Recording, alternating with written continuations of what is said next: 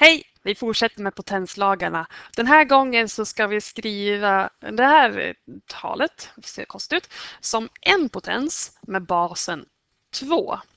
Och det finns en potenslag som gäller just det här med när vi har en potens inuti en parentes och sen är det upphöjt till någonting.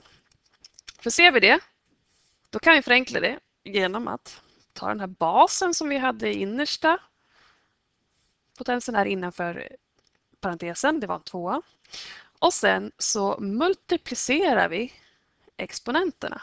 Ta tvåan här gånger den yttre exponenten som är trea. Två gånger tre.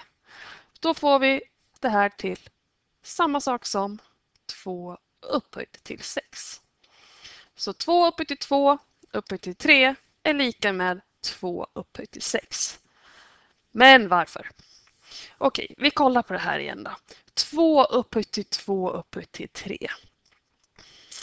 Nu ska jag lika med neråt så det för att det här är lika med det jag skrev under här nu.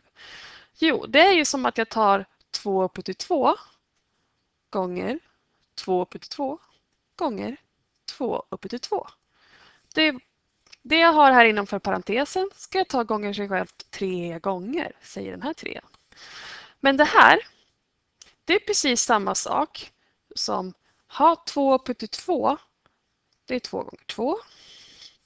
Och sen så ska jag ta det gånger 2 upphöjt till 2 som är 2 gånger 2. Och sen så ska jag ta det gånger 2 upphöjt till 2 som är samma sak som 2 gånger 2. Och totalt hur många tvåor har jag nu med multiplikationen mellan? Jo, 1, 2, 3, 4, 5, 6. Så det är samma sak som 2 upphöjt till 6. Samma resultat som jag fick när jag använde potenslagen. Nice! Och hur ser nu den här potenslagen ut helt generellt? Jo, den ser ut som följer. Om jag har ett tal upphöjt till någonting, men så är hela det shebanget upphöjt till ytterligare någonting. Då kan jag förenkla det här och skriva det som en potens utan parenteser genom att ta basen och sedan multiplicera ihop exponenterna. Det är vad den här potenslagen går ut på. Och här är varför.